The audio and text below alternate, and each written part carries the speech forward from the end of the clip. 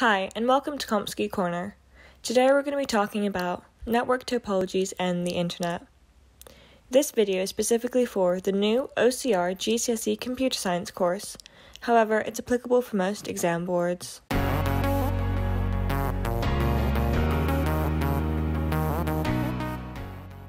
What I mean by network topology is the setup of the network, and there are two network topologies that you need to be aware of.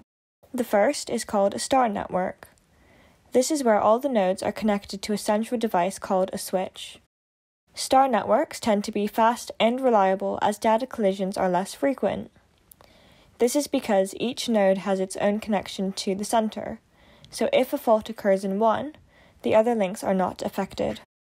Also, it is easy to add more devices to a star network. However, they can be a lot of work to set up. More importantly, though, the main disadvantage of a star network is that the performance depends on the single switch. So, if there is a problem with the switch, the whole network will collapse. The second network topology is called a mesh topology, where each node is connected to every other node. In a mesh network, all nodes are involved in the transmission of a message, and there are multiple paths between the devices, so no central switch is required. This is beneficial as it means that there is no single point of failure within the network. However, a lot of wire is needed to connect all the devices to all the other devices, making mesh networks expensive and difficult to set up. Lastly, I just want to note that as you can see on this picture on the right, mesh networks can be full mesh or partial mesh. Full mesh is where every single node is connected to every other node, whereas in a partial mesh, only some nodes, but not all of them, are connected to every single other node. Now let's take a look at what a domain name server is and how they are used. So, a DNS or a domain name server is an internet service device that translates URLs into IP addresses.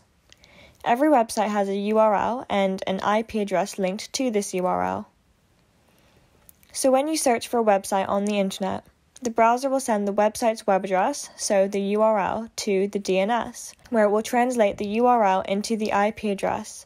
If it finds it, then the IP address is sent back to the browser, where the web server will process the request for the website and use the IP address to find, load, and send the web page to the user. All that can seem like a lot to start off with, so let's look at a practice question to break this up into little bits.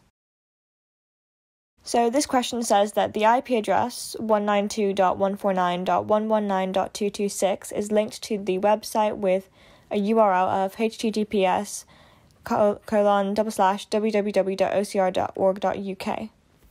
When this URL is entered into a browser, the website homepage is loaded, and you are asked to describe the relationship between the website URL, the IP address, and the web server. Pause the video here if you would like to have a go, and then we will go through the answer. Okay, so to answer this question, let's first deal with the website. The website is hosted on a web server and has an IP address and a URL. Next, let's address what the DNS does with this information. So once the web browser sends the URL to the DNS, it looks up the URL and returns the correct linked IP address. If it can't find it, it sends it to a higher DNS. If the higher DNS still cannot find the IP address, then an error message is returned. This is why you will sometimes get a 404 error if the web page cannot be found. If the DNS does find the IP address, it sends it back to the browser. So the browser is what communicates with the DNS. Once the IP address has been found and returned, the web server processes the request of the website and sends the web page to the user. So as you can see, we have split this question into three parts. The website, the DNS, and the web server. The answer to this question is really worth noting down as it clearly and simply shows you everything you need to know about the role of the DNS. Now, you need to be aware of what domain names are and what hosting is. So, hosting is where resources are shared on a web server called a host for other computers to access. The host name consists of domain names organized in three hierarchical levels. The domain name is the identification string that refers to the resources.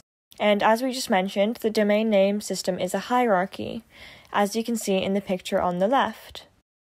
The top level root is generic to many websites and includes things like .com, .uk, .gov, etc.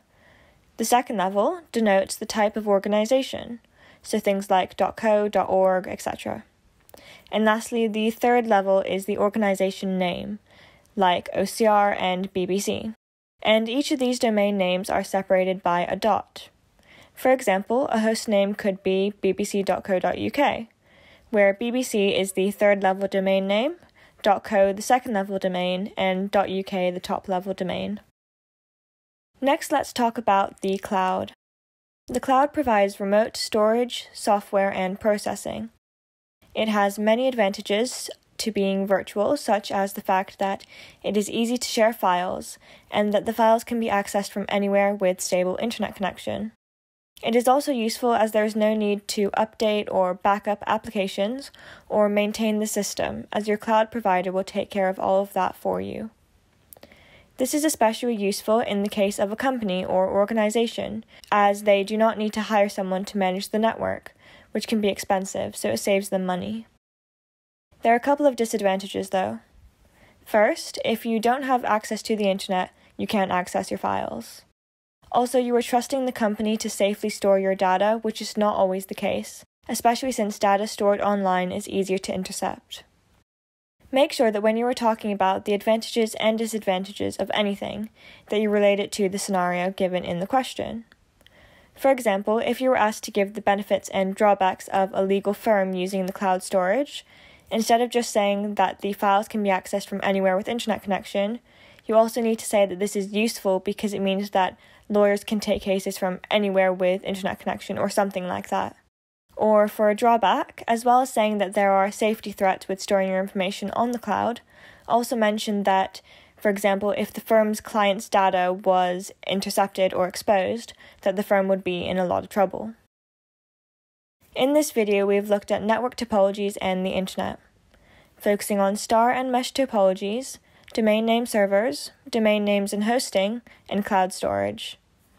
So if you've enjoyed this video, then please be sure to give it a big thumbs up and subscribe to my channel for more. See you next time. Bye!